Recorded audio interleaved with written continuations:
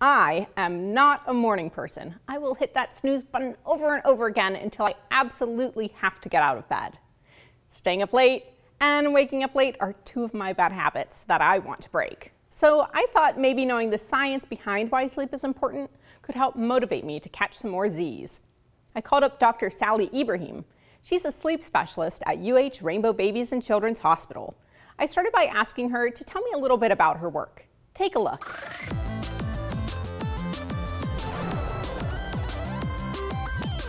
I'm a sleep doctor, I'm a medical doctor, so I see patients in clinic and I also read sleep studies. Uh, when people go to spend the night in the lab, we get some data and we understand what their sleep disturbances are.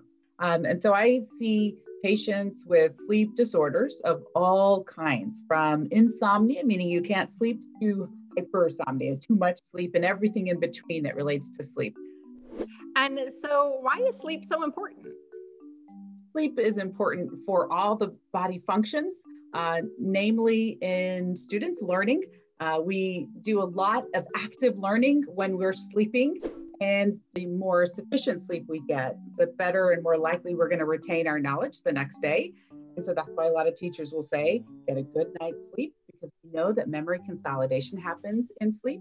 There's also a bunch of other things that, they, that happen in sleep. For example, we can regulate our sugar control, uh, regulate our, our heart health, and so many other things that are healthy for us to thrive. So, if I stay up really late cramming for a test, I might not remember what I've been studying if I don't get enough sleep.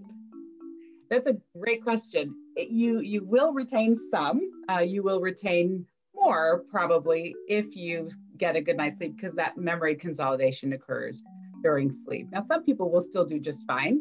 Uh, but but we know that you're probably studying more than just on that night, and so every single night counts leading up to that, so that we, you can retain that knowledge. Uh, okay, and so how much sleep um, should someone who is eight to twelve years old get? Great question. So pre-adolescence, you need about anything from nine to twelve hours, and in teenagers, you need eight to ten hours. And so those are minimal numbers. Uh, the minimum number for teenagers, eight hours, and the minimum number for a pre-adolescent is nine hours.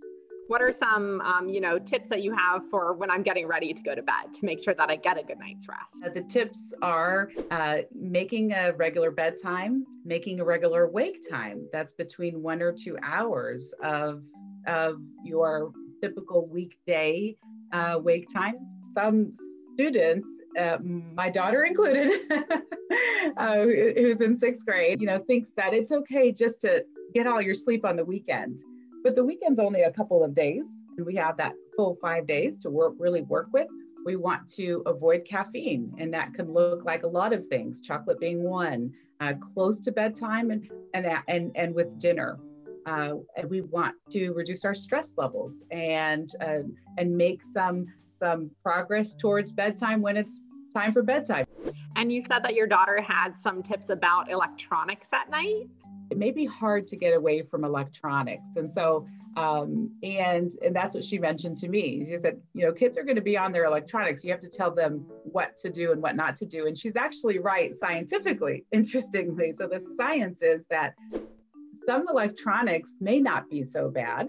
Um, it depends on what we're doing on it. And if those so so things that are very engaging when our mind is really active will be bad for us. Some of the things that may be more helpful are things like listening to music that's soothing, relaxing, not so um, alerting, uh, things that just calm us. There could be a you know a, a nice you know easy podcast to listen to, for example, something to put our mind in a relaxed position.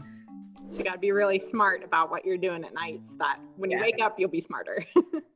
Choose wisely. That's right. Spot on Science is featured in full episodes of NewsDepth, a presentation of IdeaStream Public Media, connecting today's students to today's world.